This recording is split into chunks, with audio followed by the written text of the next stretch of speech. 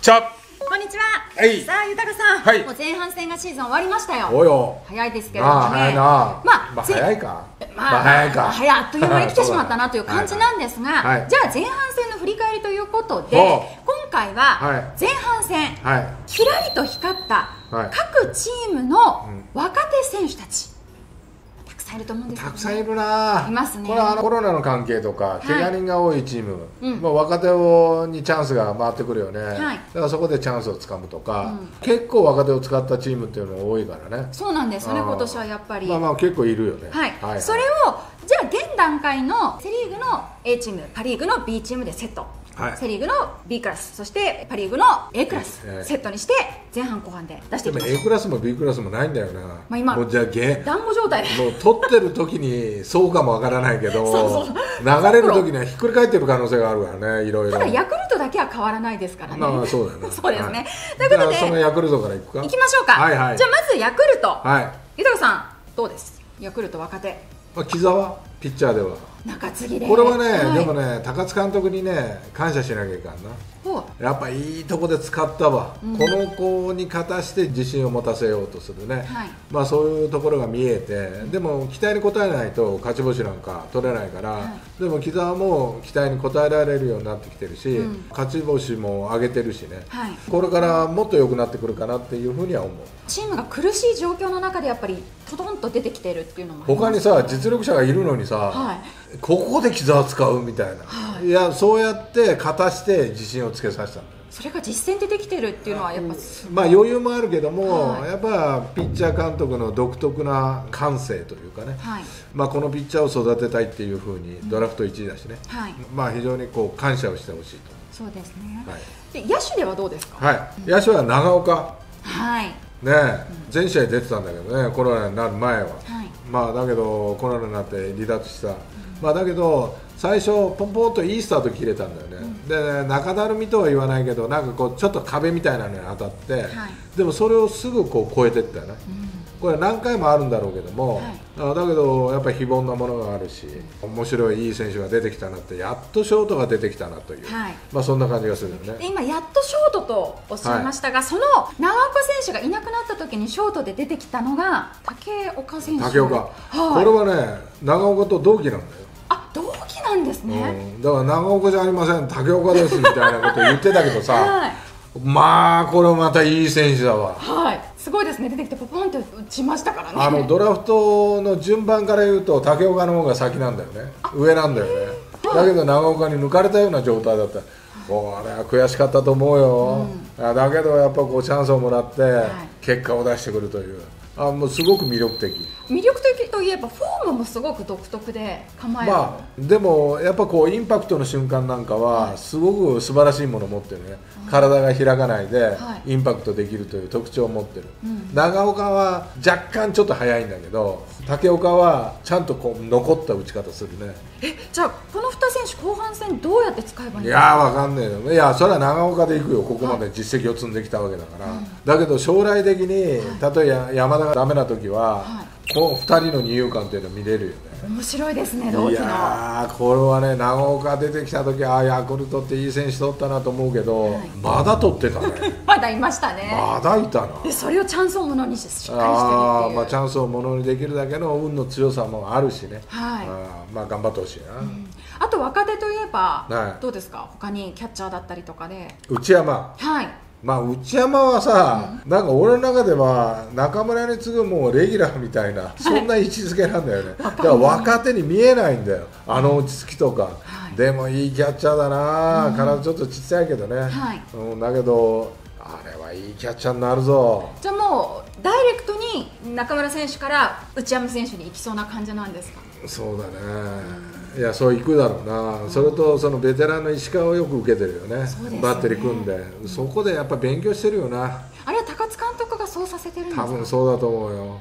憎いやり方するよね、中村にかぶさしときゃさ、まあもう知ったる仲じゃない、はい。だから簡単にリードしていくと思うんだけど、内山に与えて勉強してこいみたいないい育て方してんな高津はな。あやっぱ育ちますねだから若手うんが育つ育つ。はい。さあ DNA です、はい。これはやっぱ森？ショート。はい。やっと出てきたかこのおっさんみたいな。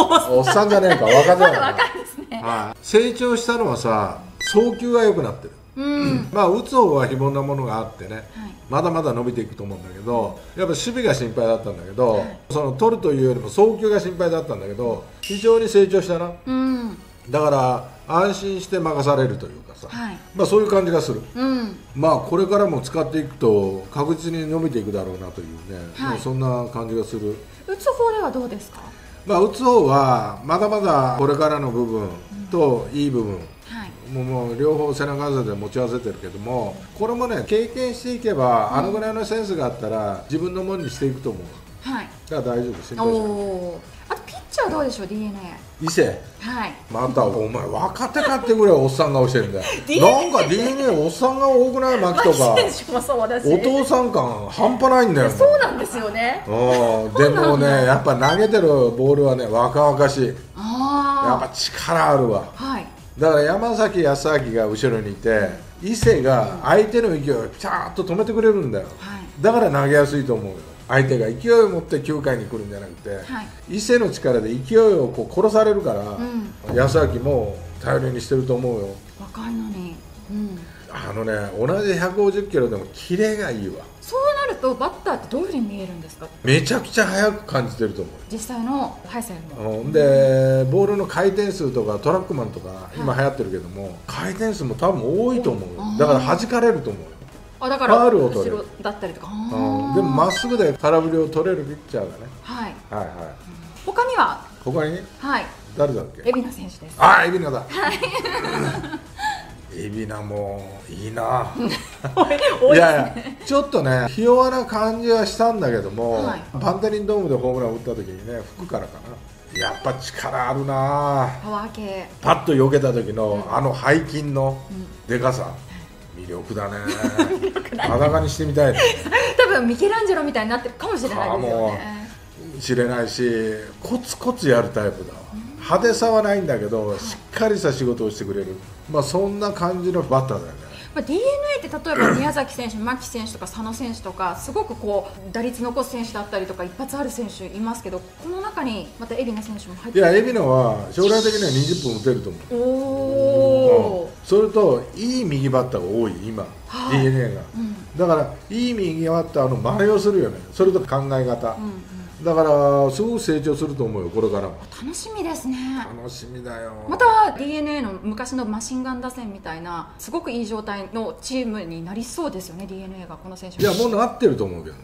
なってる。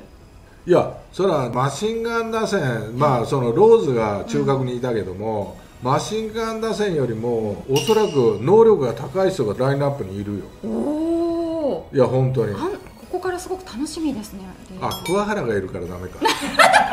でも桑ごめんね桑原。嘘だ嘘だからな桑原。原選手のあのガッツというかああもうあれはあれはもうないとダメですもんね。興奮しまくりだからな。そうですそうです。スライディングキャッチしたらとりあえずは興奮だから 彼の中ではね。そうですね、はい。さあ広島です。はい。広島は？森浦。はい。ちょっとね地味だけども、森浦がセットアップで投げてるんだよね、はい。でねちょっとここの子も、もう何年もプロで飯食ってますねみたいな顔してるんだけどね、はい。まあ2年目ということで、ん。ちょっと不満があるのは、はい。ボール先行のケースが多すぎるんだよだからカウント負けしちゃわないかなっていう。でも確実にセットアッパーを任されてるっていうことは成長してるということだよね、はい。うん、だからひょうひょうとは投げてるけど、まだまだ伸びしろがある選手だなと思って取り上げたんだけどね。あまたこれからまあ期待も込めてっていうもちろんもちろん。ありますもんね。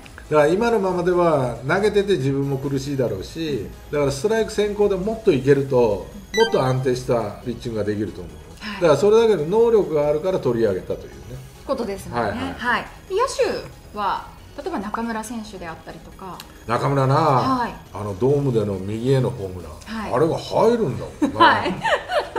そうですいやね本当に、常時使われないけども使われた時に結果を残す。だからベンチに置いておいて便利な選手なんだよ、うん。でも便利屋にはなるなよという。はい。やっぱりちゃんとしっかりレギュラーを目指して取り切れよっていうような感じだよね、うん。まだ若いしね、はい。だからすごくやっぱこう非凡なものを持ってるし、うん。左バッターが非常に多い昨今ね、はい。右で打てるバッターっていうのは貴重だからはい。だから頑張ってほしいと思うね。そうですね、はい。さあパ・リーグですけれどもロッテ。ロッテは高部。はい。高部は打ってよし、走ってよしたまにフライを落としてサヨナラになるとかね。派手なこともやるけども、はい。い、やだけどセンスがいいな。あの子のバッティングが好きだな、バットを内から出して、変化球でも溜めて拾って打つみたいな、天才。もう高部選手は天才になりかけてる。かけてる。か まあまだ天才とは言プえないけど。ラスアルファ欲しいものっていうとどこら辺なんですか？速いまっすぐにもうちょっと強くなってほしいな、ん。反則球打つのは抜群にうまいよ。はい。うん、だから変化球をよく打ってるケースを見るんだけども、変化球の打ち方なんていうのはもう自分のものにしてるもんね。だから何の心配もなくやっぱこうパワー系のボール、はい。これに対してしっかりしたタイミングを取って打ち返せたら100点満点天才です。ね、えば。そらお前松川だろ。そうですねキャッチャー。これもおっさん顔なんだよね。このこの落ち着きってお前。ルーキーかって。最近なんかそういう傾向なんですかね。おっさん化してんの？はい、いやおもうなんかベベテランぐらいのなんかちょっと前はなんかひ弱な。初々しい。いやひ弱ななんか一般でいうこう性欲もないようなやつなんつうんだっけ？ちょっとねえっと装飾系あ装飾系って言ってたよね。はいはいはいはい。今もなんか松川見て他の球団見てるとおっさん化してるんだよ。これどういうことなんだって。なんかもう入ってきた時から肝が据わってるような。そうだな、はい、でも本当に将来どんなキャッチャーになってくれるのかっていう楽しみなね。はい。で1年目から完全試合を経験する、それをリードしてたというね、はいだからいい経験もしてるしそうだな。楽しみだな。楽しみですよね。うん。まあ使われ方はね、はい。佐藤俊也が非常に成長してきてるし、はい。まあ、今のところ出番というのはそんなに多いわけではないけどもね、いい経験もしてるしね、はい。うん、頑張ってほしいね、うん。はい、あのそれを投げてた佐々木朗希投手も佐々木朗希も若手だからね。ね。今やなんかパ・リーグのエースみたいな。まあまあ、日本のエースって言ってもいいよね。ね。はい。そのぐらいもう成長っていうか、まあ、完成度が高い、はい。まだまだ成長する過程にあるんだけども、でも完成度が高く見えちゃう、うん。これはもう完全試合によってね、はいまあ、ちょっと1ランク上だよね。そうですね力ランクがはい、それ言うと牧選手もまだ2年目ですもんね。マキ DNA の。なマキおっさんだからいいんだよ。2年目じゃなくて あまあそうかもういいんですね。あもういいんだそこのクラスあもうは4番打ってんだもん。そうですね。ちょっと格が違うというか。昔から考えたら今の若手が入ってくる成長度と完成度っていうのは全然違うな昔とは。そうですね。やっぱ昔なんかね、はい。プロと1年目2年目の体見たら歴然としてたから。あそうだったいやプロで何年か飯食ってるやつの体っていうのは出来上がってるけど、はい。今わからないよ。アマチュアから入ってきて1年目ですっていうようなやつの方がいい体してるから。そうですよね。筋トレとかももうガンガンやってるからね。ガンガンやってますもんね。さあオリックスですけれども。ちょっと前から言うの恥ずかしいから。泣く泣き投手でなんつったの。泣く泣き投手ですね。